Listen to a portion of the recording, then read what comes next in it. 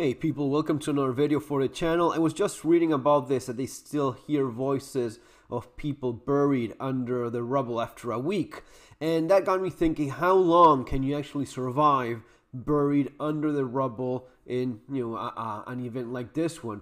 Well, there's a few things we already know, but there's quite a bit of variation. The simple rule of three that we apply in preparedness, like you cannot survive more than three days without water, that is kind of like a, a pretty safe approach. But the reality is, you can actually survive a lot longer. I think the record is like two or three weeks, if I'm remembering correctly, from a young man that was left in a prison cell at some point. But there's so many variations with water because it really depends on temperature, how well hydrated you were before that, um, if you're moving, if you're uh, in, exposed to sunlight or not. I mean, you could die within hours with um, exposure in very hot climates. Now, buried under the rubble, that's going to be a different story.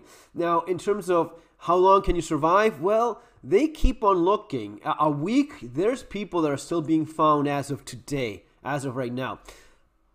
You have to analyze this from where it's happening. It's um, you know cold weather conditions right now. Probably uh, you're um, exposed to uh, the elements, but if you're buried, there's maybe quite a bit of thermal protection in the rubble, in you know the material covering you as it is. So let's assume that you're of a you know somewhat uh, fit uh, condition and you're not uh, wounded in, in such a way that you need immediate health care. Of course, if that the, that's the case, you won't be coming out of there. But let's say you just got buried and you miraculously made it so as to not be uh, too wounded and you're maybe pinned or you're just buried in a like in a in a basement somewhere under tons and tons of rubble. How long can you make it?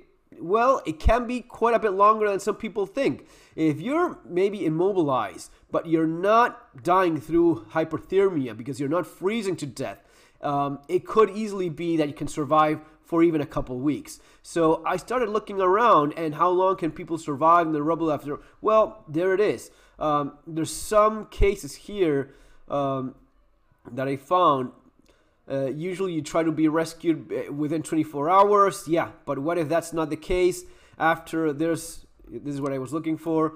Uh, after the 2011 Japan earthquake and tsunami, a teenager and his mother and his 80 year old grandmother were found alive after nine days trapped in their flattened home.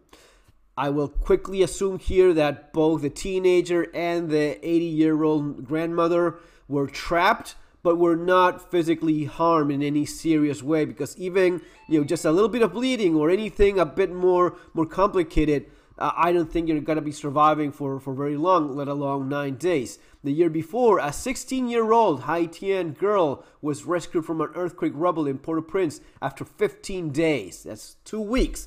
And that's a two week mark where, yeah, if you're trapped, there's no water, kind of that's where you're at. If you're not freezing to death, you may survive up to, uh, yeah, approximately two weeks, which is a point in which because of the lack of water that's that's really pushing it. Water is complicated, man. Water is one of our more precious resources in preparedness because after just a few hours, you're feeling it. After a couple days, man, you will be desperate for water.